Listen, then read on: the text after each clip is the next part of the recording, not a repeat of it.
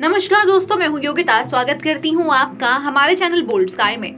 यूँ तो हर किसी को कभी न कभी किसी बात पर रोना आ जाता है, लेकिन कुछ लोग ऐसे भी होते हैं जो बिना बात के रोने लगते हैं। फ़िल्म में किसी इमोशनल सीन को देखने या किसी दोस्त के नाराज़ होने पर कुछ लोगों की आँखों में आँसू आ जाते हैं। कभी कभी कुछ लोग बिना किसी कारण के भी रोने लगते हैं। एक्सपर्ट्स के मुताबिक, ये शारीरिक और मानसिक रूप से बीमार होने को दर्शाता है। लेकिन क्या आपने कभी ये जानने की कोशिश की है कि आखिर लोगों को रोना क्यों आता है?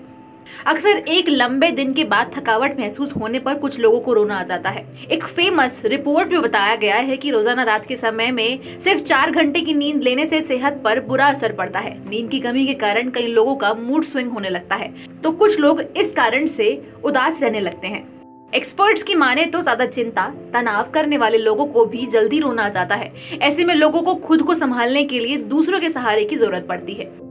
अक्सर कुछ लड़कियाँ भी पीरियड्स में होने वाले दर्द के कारण भी रोती हैं। पीरियड्स के दौरान ये दर्द शरीर में हार्मोनल बदलाव, ऐठन के कारण होता है। लेकिन आपको ये बात जानकर हैरानी होगी कि कभी कभी आपको विटामिन की कमी स्ट्रोक थायराइड समस्या लो ब्लड शुगर लेवल कम होने के कारण भी रोना आ सकता है। रोने के पीछे एक अहम वजह डिप्रेशन भी है। कभी कभी लोग थोड़े समय में ही डिप्रेशन से बाहर आ जाते हैं तो कभी तनाव कम ही नहीं होता। अगर तनाव ज़्यादा दिन तक रहता है तो इससे सेहत पर काफ़ी बुरा असर पड़ता है। अगर आपको भी ऐसा कुछ महसूस होता है तो आपको अपने डॉक्टर से सलाह लेने की बेहद ज़रूरत है।